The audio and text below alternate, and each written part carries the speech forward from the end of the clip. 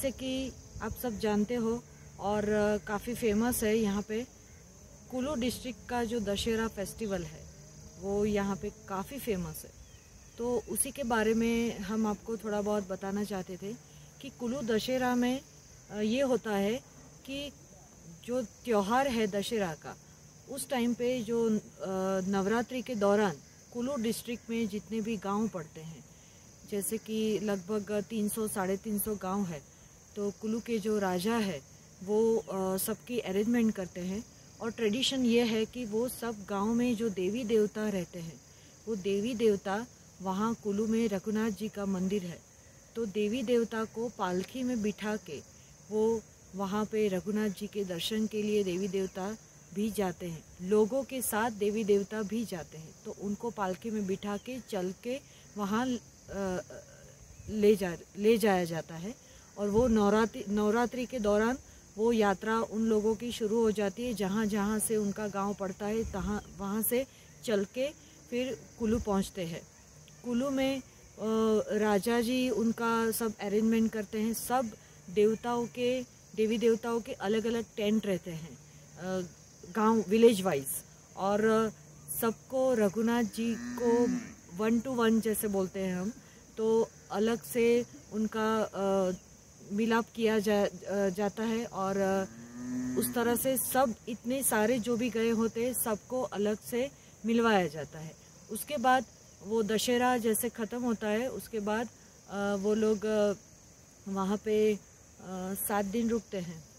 सात दिन रुकते हैं और फिर वापस अपने गाँव जो उनका अपने गाँव में मंदिर रहता है वहाँ पे वापस लौटते हैं। तो वो भी पालकी में वैसे जैसे गए हैं वैसे ही चलते वहाँ से चलते निकलते हैं और आते हैं। तो आ, मैं आपको ये बताना चाहूँगी कि हम जिस प्रॉपर्टी में रुके हैं न्यूली विलेज में तो उनके इष्ट देवता भी आ, जो ब्रह्मा जी है और ब्रह्मा जी भी यही कुल्लू फेस्टिवल में रघुनाथ जी से मिलने गए थे और वो भी वापस लौट रहे थे। तो फिर ये डिस्टेंस काफ़ी रहता है गाँव के जितना डिस्टेंस रहता है उस हिसाब से कुल्लू से अपने गाँव।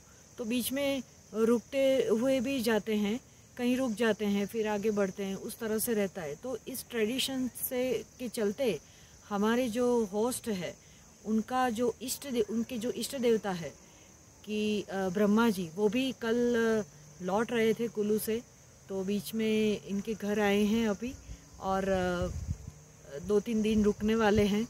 तो ये बहुत ही बड़ा सौभाग्य की बात है। उनके लिए भी और हमें भी ये अच्छा लगता है, हमारे भी जो कुल देवता वगैरह होते हैं, हम उनको दर्शन करने के लिए उनके मंदिर जाते ये तो खुद चल के हमारे पास आए हैं, हमारे साथ, हमारे घर में रुकने वाले हैं। तो काफ़ी एक्साइटेड थे सब लोग। तो हमें भी वो दर्शन करने का मौका भी मिला, उनका जो ट्रेडिशन है वो देखने का मौका मिला। तो हमने जो दर्शन किया, वो दर्शन आपको भी करवाएँगे कि किस तरह से उनका जो श्रृंगार वगैरह होता है, मूर्ति होती है ब्रह्मा जी की। तो वो भी हम आपको करवाएँगे।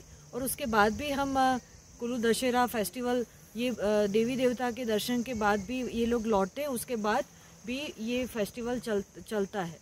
तो वो भी हम जाएँगे तो देखेंगे कि किस तरह से वो पूरा मनाया जाता है और लोग इकट्ठे होते हैं क्या करते हैं। तो वो वहीं जाके पता चलेगा। तो हमारे लिए भी नया है। तो हम एक्सप्लोर करेंगे और साथ में आपको भी एक्सप्लोर कर, करवाएँगे और हमारे साथ स्टिल बने रहिए यही सीरीज़ में।